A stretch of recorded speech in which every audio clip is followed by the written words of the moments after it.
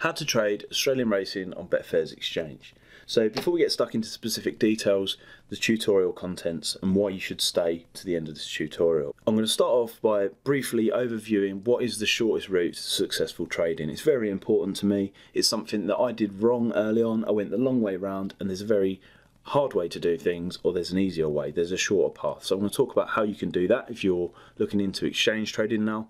Then i want to talk about aussie influences and indicators within the australian exchange markets what's important and why that is um, and why you should bear that in mind before you do anything and then we're going to get stuck into the important part that probably most of you are here for, which is the three successful approaches to trading Australian horse racing markets, with lots of on screen recordings and examples talking you through myself doing stuff on screen and why I'm doing it.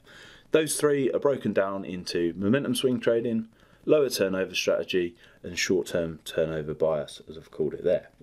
Now, before we go into the finer detail, quick 20 seconds or so to let people know who I am if you've just come across this channel for the first time. My name's Caan Berry, I'm a professional Betfair trader. I have been for a substantial amount of time now. In fact, I quit my job just over 10 years ago and I've never looked back. You may have seen me in Betfair's marketing material on their homepage, the learning directory, um, speaking at traders events, or even uh, more recently on an interview with Betfair Australia. So if you enjoy the content on this channel and you find it of value, please subscribe. Uh, make sure you tap the like button down below. Just recently, we had a little bit of nasty stuff, people leaving very nasty comments and lots of thumbs down as soon as videos are uploaded on the YouTube channel. So if you want to help me uh, counter that, then please tap the like button now. Uh, also, I've got courses on my website for more advanced deeper learning on exchange trading and various strategies you can use there. Now, this video, I'm going to provide you quite a bit of value. Um, I'm quite happy to answer any questions you may have after watching the video in the comments. Please drop them down below afterwards. Uh, within a few hours of publish is usually the best time to get a snap answer from me straight away, but I will endeavour to come back and check them in the future. So the shortest route to successful trading, um, and basically the answer is to be efficient, obviously. Um, a lot of people probably aware of Pareto's principle, something that I often think about and I relate heavily to exchange trading, which basically said, you know, for 20% of your effort is usually 80% of your results. And alternatively, the other way around, people usually spend a lot of their time and effort, or 80% or so, which actually yields 20% of their results. Now, you want to be the dark blue portion on the left and the dark blue portion on the right, not the light blues. When I started out, and I first started in the exchange markets, I probably spent a lot of time in the light blue area and it didn't do me any good. So don't do that because that's not the shortest route to successful trading. Now, what is the most efficient uh, place to start?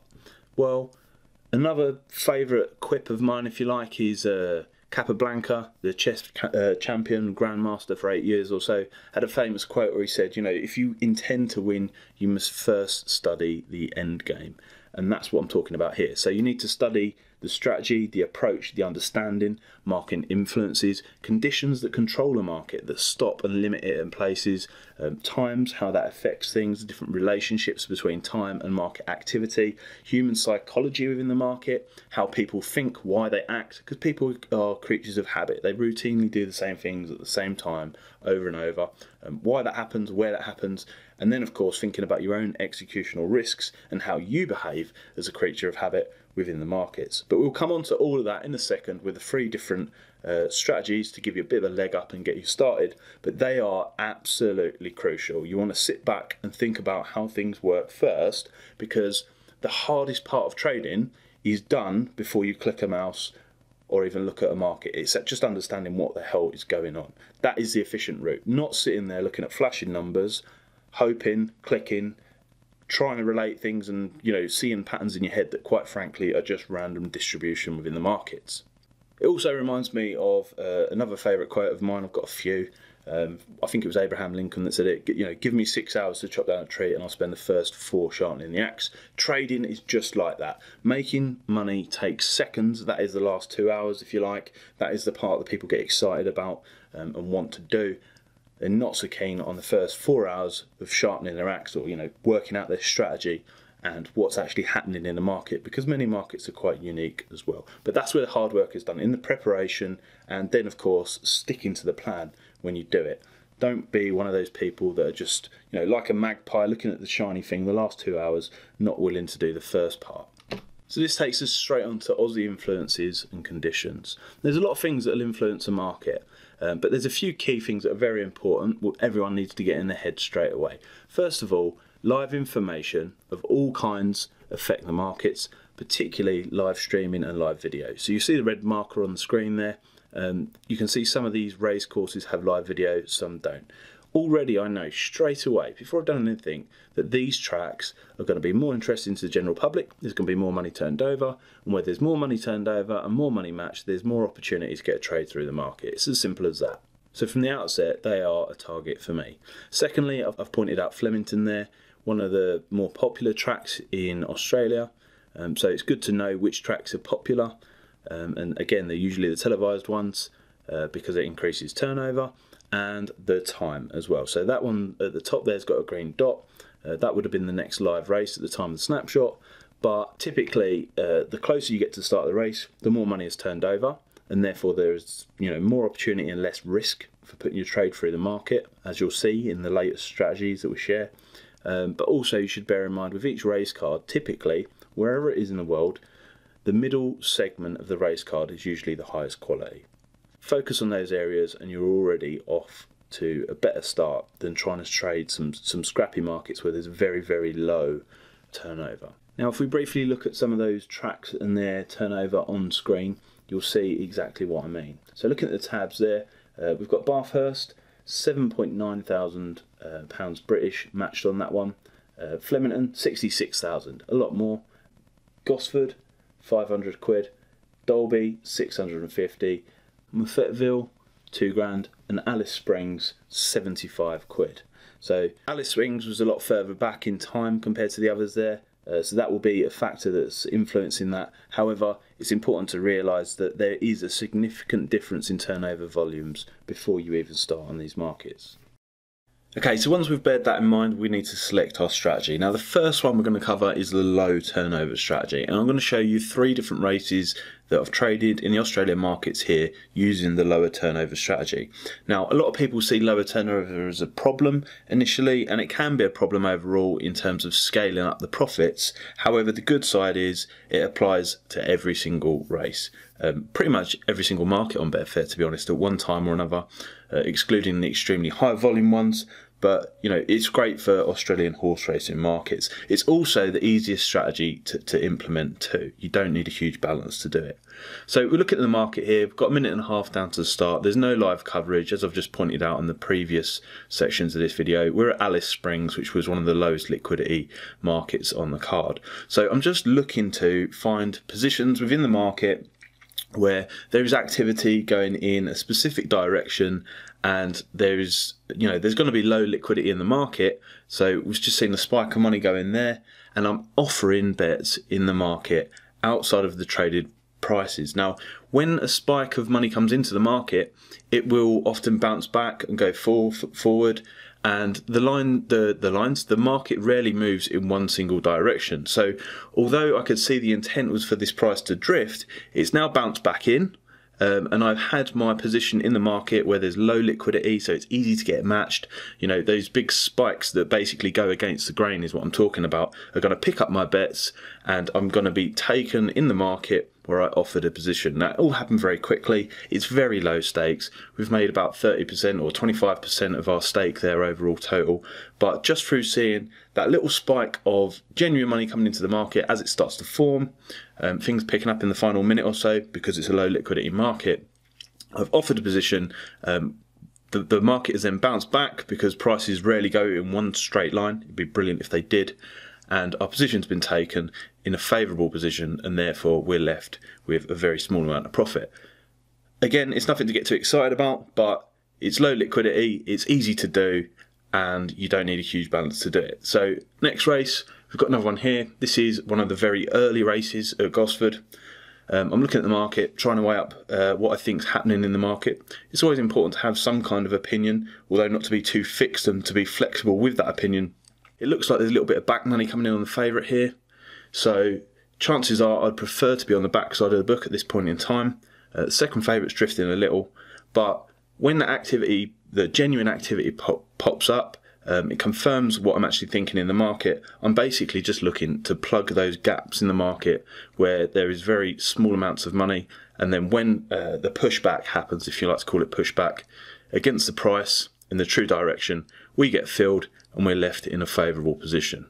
Now, I may do it on the lay side of the second favourite here, or I may do it on the back side of the favourite. I would guess I did record this at an earlier date, so I couldn't tell you exactly. So there it is. I offered a position at 4.8, quick spike, matched it, and then back out of 4.9.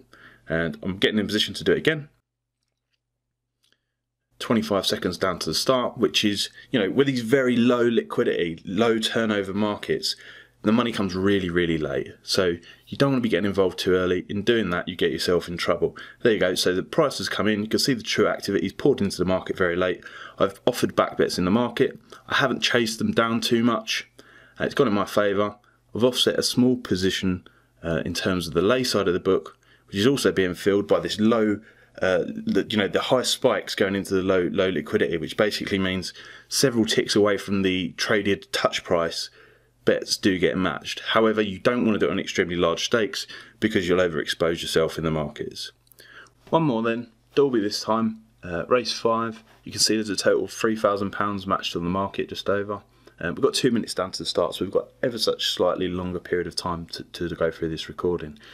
Now, the money's going to come very late again. Um, I'm not too sure where the prices are going at this point in time. However, I do know when it happens, I'm going to plug the gaps. Um, and when the large spikes come into the market, um, there's low, obviously low amounts of money in the market, lower turnover. I'm going to catch one of those spikes in a favourable position um, and so I, I know instantly from that opening position, I'm in a favourable position. Haven't selected the £10 stakes there, a little bit premature. You can see there's a little bit of money coming in on the back, the back side of the book for the favourite, from the dark green volume bars on the Geeks Toy software. Um, but just as this develops, you can see a large stake there, and I'm jumping in front of that. Now, the reason I've jumped in front of that is because there's such a larger stake, and you can see this is genuine money that actually wants to be matched at this point in time. A little bit dubious just in case it should get removed uh, the whole market could revert quite quickly. Lower stakes, obviously we're not overexposed. And there's a little bit of back money coming for the second there, which is going to counter against what we're doing. So nothing to get too excited about here as such, but I'm offering my positions in the market ahead of time in favourable positions where I know that there is a genuine trend uh, in favour of where we're going.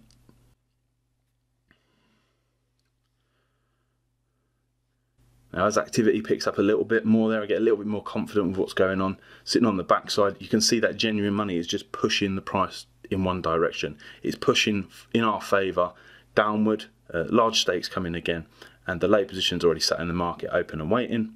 And again, we pick up a few quid on £10 a click. So nothing too exciting, not huge amounts of money to be made from this low turnover strategy. But what you'll see is a lot of the time I use this in different positions um, whilst I may be doing someone else, so something else. So I could be trying to swing trade within the market, and then again and again I will adjust my position, making it more beneficial just by offering positions in the market outside of the traded available. Uh, so six quid nearly there from £10 a click stakes. On to the next strategy, which is short-term turnover bias. Slightly different strategy. Uh, the main differences being you can use significantly larger stakes for this. Um, there's less offering in the market. Stands to reason. When the market's more densely populated, there's more unmatched money in the market. There's less chances of getting an opportunistic fill. Uh, the good things being that you know you can stake a lot larger. However, stakes should always be in proportion to the amount of value that's on offer, uh, the amount of bias, which sort of comes down to the, the one we've named it there. The main problem with this strategy is it can feel more frustrating, and sometimes you have to sit and wait a little bit longer. As you'll probably see in the next four quick uh, recordings we're going to show you here on screen, um, one of them does go wrong, left that in there, very important, just to show you that, you know, trading is about thinking in probabilities, doing the right thing at the right time over the longer period, it will play to your advantage. So we've got a Flemington race here. Um, it's quite late on, minute and a half down to the start. There's not really a huge amount of bias in this market at this point in time. Highlighting the fourth there, it's got a little bit of a drift. Uh, you can see the dark green bars on the traded volumes denotes um, the recent money that's fallen into the market. And I think if there is a little bit of bias here, it looks like it's more likely that the favourite or the second favourite is going to shorten. So we're going to offer our stakes in the market again initially, first of all, uh, potentially take a price two, and then when that bias flips a little bit with the added volume later down to the start, we're hoping to back at high price and late at short price. So I've put a back bet in the market there just to get started, £40, £60. Um, a chunk of it gets matched and the price starts to dip in a little. Uh, and then um, immediately I'm looking to lay off that bet back to the market. Uh, the whole time trying to gauge, I've just brought up the live video and the separate screen there, trying to gauge how much money is going to flow into the market, if this is really going to shift um, and how long we've got down to the start of the race because it is extremely close to the start of the race. Looking at the timer on the left there at 24 seconds. Uh, so back bets have gone in the market, lay bets are in the market. Very short um, space of value in the market there. You may have heard of scalping previously elsewhere. We've got lots of uh, videos on that in the video pack course also. Um, but this is very similar to scalping. It's just highlighting the late volume that pours into the market and that extra bias um, in a directional format. So we back and then we lay back to the market, um, locking in a profit. Now, if it bounces against us, obviously we have to take a loss, as you'll see shortly.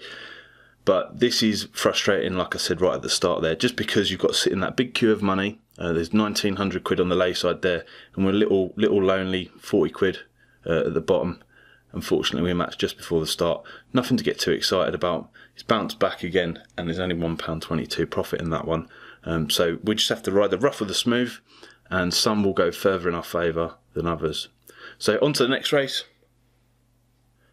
which is at Rosehill, uh, race five. Uh, two and a half minutes down to the start. Looking at the market overall, looking at the graphs at the bottom, the Betfair charts, trying to see where the most recent volumes come into the market because recent volume and recent bets matched is always more important than historically over a longer period of time. A lot of people get sucked into the way of thinking that looking at it over a longer period of time is the way to suss where the price is going, but actually it's the most recent volume because that is what controls price movement with the supply and demand in the market. So it opened up for a very small £10 stake on the backside of the book there on the favourite. Um, it looks like there is a little bit of bias in terms of the dark volume, the dark green bars on the volume bars on the, the right there of the, the column. Uh, and I'm hovering over the lay position because I don't really know at this point in time. May have to close that for a loss, um, 38 pence. But if it goes in our favour, then we're going to look at trading this a little bit more seriously. The second favourite started to drift a little. Um, there's no real clear-cut decision at this point in time. Um, I'm starting to see that momentum build, and you can see that that spike that just dropped in there in our favour. That's always good to see, reinforcing our position. But you know, is the bias going to continue, or is the bias going to bounce back against us? Uh, in this situation, it looks like it's going in our favour, although the market's been a little bit indecisive and it's less clear cut and that is the problem sometimes with these type of markets that you see to use this kind of strategy is because there's less clear cut decision in the market on the time that there is a very clear cut opportunity and it's very obvious it becomes a lot easier to trade and that's when you can use a lot larger stakes this market just isn't one of those at this point in time so we close up there uh, six pence loss or five pence loss uh, and it's gone against us so we lost a few pence there, but it's, it's no great shakes because we got the opportunity to play the market, play it to our advantage. It could have taken off at one point and the other, um, and it didn't, unfortunately, in this instance. Last of all, they're just looking at banging a quick scalp through the market on the, the third favourite, which has bounced against me. I think, to be honest with you, that's probably more boredom than anything else. On to the next race, um, and we've got Morphettville, uh, race number four a uh, minute and a half down to the start, and very obviously, look at the dark green bars on the right there um, of that column. The money has started to pour into the backside and the backside only in this uh, particular market. So we go with the back. We don't. We're not too desperate to chase the price down. And the thing that put me off more than anything with this one is there was a problem with the live video there. You can see it was just coming up black from from Betfair, the live streaming. Bit frustrating. Um, open position there on the on the ladder and my attention is taken to the live video because I really want to see when this race is going off because if it goes off late we can play this trade a little bit further and you know it may even develop into some kind of swing at some point or another um, so mainly the live video is the problem in this instance thanks a lot Betfair um, but anyway look you can see we're on what five quid uh, profit We've caught that tick there. There's a lot of lay money resisting the price down at 4.2, 4.1. That's a common thing that happens a lot of time. Um, you know, community users on, on the website will know a lot about this, but there's the, the crossover points. Maybe I'll mention that a little bit later in this clip. but fighting with the live video, you can see that there's a bias in the market close to the start, high volumes turned over, a total of 110,000 matched on this market right now, more opportunity to stake a little bit larger um, and take a very short space value, uh, short short price movement out of the market. Sorry, taking value to put in our own in our own coffer. So again, still fighting with the live video. Really frustrating to see that. In fact, I've wasted I've wasted a fair amount of profit while I'm fighting with the live video there, by the looks of things. Um, but the the bias is in favour of the favourite shortening in this particular market. Uh, what else there is to say? I mean, the second favourite's pretty weak. The third's bounced around a little. The fourth is pretty uneventful, uh, marking take SP because I'm now worried we're actually past post time, 20 seconds, um, and our bets are matched and we're hedged up for a fiver there. But that'll be a case of going on to the next one and hopefully getting the live video working properly. So last example then, 4 of 4 on this particular strategy. Um, we're then going to move on to probably the most important or the most lucrative strategy, the third one.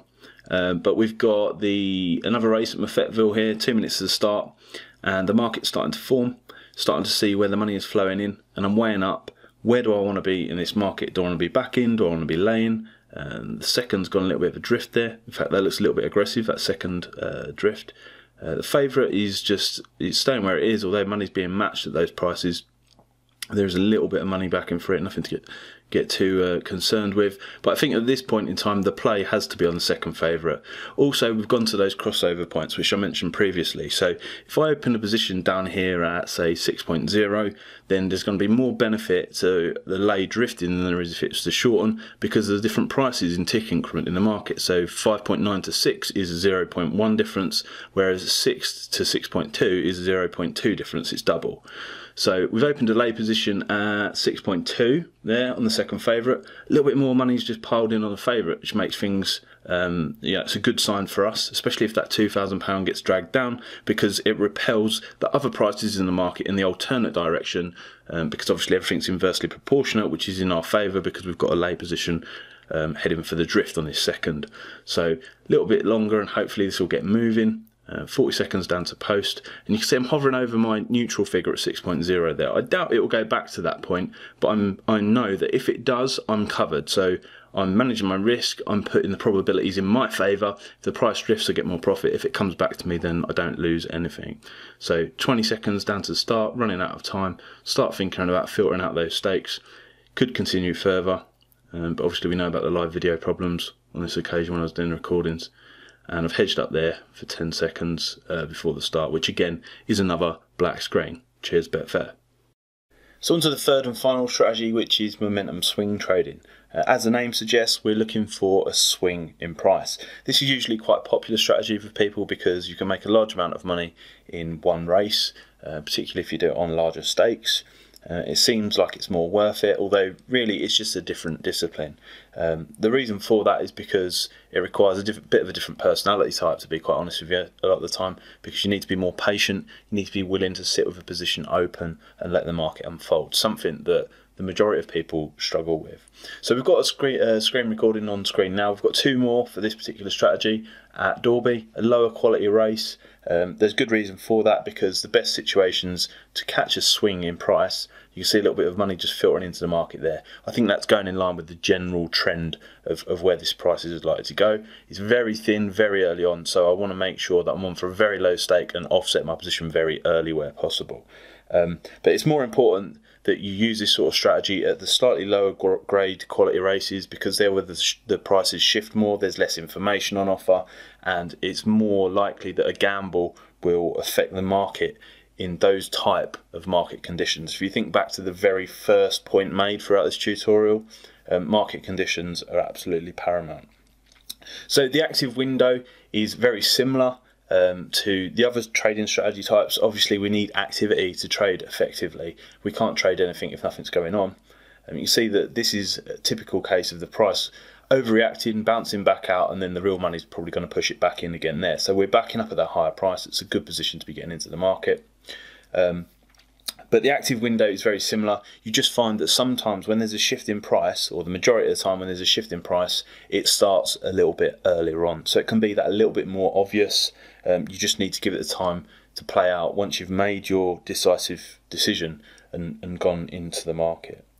So um, we're not going to use too big a stakes too early on, uh, just because the whole thing can flip as you've already seen in lower liquidity. But now on the right hand side of the ladder for New Alliance, you can see that there's genuine money filtering in there. We've got a good match volumes at those prices. The price is contracting. The only downside is, you know, if more back money comes for the original favourite, uh, cash and run, that will have an impact on our position. So getting close to the start, hit the live video, and miraculously it's working this time. Woohoo! Um, so we've got an open back position. I'm watching horses going to stalls, and I'm seeing that you know some of them are already in there, and it's a minute to post time now. So we've not got too long to let this one play out. Although it's certainly moving it in one direction. Looking at the traded volume bars tells uh, the best story there for that one. So what I'm not too sure the prices we backed originally. I know it was backing further up the top there, and I've offset the position several times. Much like I did, like I said, there's an overlap between the different strategy types when the spikes come into the market, just to ensure that we're sat on the right side of the potential move, um, the swing in price, offsetting it continuously and I'm just highlighting on screen the resi resistance that's building up on cash and run at 2.86, which is what's halted our our swing in price. Um, and there it goes again. It starts to move in our favour once more when more money, gen genuine money, piles into the market. Unfortunately, we've only got 18 seconds or so to the start now, and the horses are already going in the stalls. So that's pretty much this one over quite quickly. Um, we'll move on to another recording on the screen now. So the next race at Dalby then, uh, race seven, two minutes to the start. Uh, we've got a small amount of time to make up our decision as to which runner we're looking to trade here, but it's a similar setup similar type of environment. Uh, obviously, the same race course, uh, low, low amount matched, 10k matched on this, um, and we're looking for similar uh, activity in the market. Now, price is at what 3.75 on Silent Flyer right now. Looks like a little bit of money's coming in for that, but I've not got strong enough feeling on this to confirm um, any decision and open up a trade. You can see from the market overview over on the left the, the market has just come to life. Now this is when the, the live money comes into the market, the most you know the most active window for trading on the Australian racing, and it is very late. Um, we'll need the live video to confirm if we go uh, past post time. But at this point in time, I'm looking at back in Silent Flyer. Uh, the main worry is the alternate favourite on the left there, and that is because if the price comes in on that one, it's going to halt uh, what happens on the one we want to trade and vice versa. So you don't want to see two short price favourites um, around about threes or three and a half um, competing against each other and look for a swing in price because they are working against each other within the market, being very similar uh, positions in the pricing. So we'll go with Silent Flyer. You see that, that spike and that flurry come in there around about the golden one minute before the start. And we want to see this carry on and get going. At this point in time, the decision's not sewn up. Uh, I opened up for a very small stake, 30 quid we've got on there. Uh, we got on at what, 3.6, uh, and the price has started to contract. We're down at 3.3 so far. So it's happened very quickly. Like I said at the start there, conditions are paramount.